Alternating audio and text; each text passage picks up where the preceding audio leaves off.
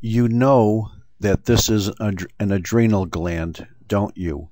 Because you can see in areas this uniform, approximately one millimeter thick uh, ribbon of bright yellow cortex sandwiching uh, browner, redder material, like here, between the two cortical layers, which is the adrenal medulla.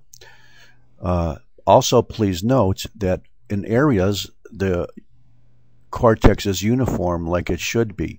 But look, there's areas of thickening. Here's a nodular thickening area. Here's a nodular thickening area. Here's a smaller area of nodular thickening. And here's a very large area of nodular thickening.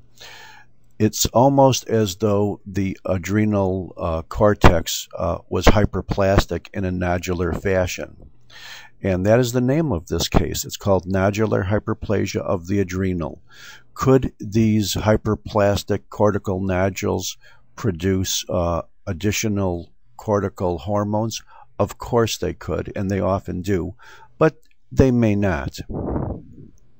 Here's a microscopic view. Uh, probably won't be too surprising. Uh, first of all, let's establish the fact that this is an adrenal gland. And I'm going to try to do that by showing you um, the capsule, the fact that along the subcapsular area, their uh, cells are arranged in a ball-like or glomerular pattern, the zona glomerulosa. As you go deeper some of these uh, cells are arranged as fascicles, uh, like you see with the zona fasciculata. And then in the deepest areas, again, they're kind of like in a reticulated pattern. If you've ever seen a, uh, the markings on a reticulated python, you'll know what I mean. But in addition, you could see these thickened areas microscopically, like here. You could see another nodule here. Um, because this is a very, very large vein, you know that you're in the medullary area already, don't you? Although it's very, uh, I don't really see too much by way of adrenal medulla tissue on here. This is almost all cortex. These adrenals are enlarged. Here's another nodule because of this nodular uh, proliferation or hyperplasia of the cortex. Also note, once again, that the cells themselves are quite uniform in size.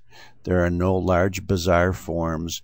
They seem to be well differentiated in that they are producing an abundant amount of foamy uh, cytoplasm, which is storing all that nice cholesterol.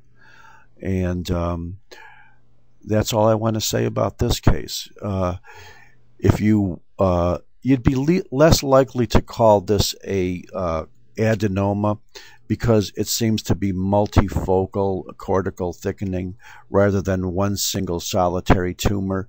But if you wanted to call it uh, multiple adenomas from a functional or behavioral point of view, uh, you wouldn't be wrong because it would behave the same way as a uh, cortical adenoma. Thank you very much.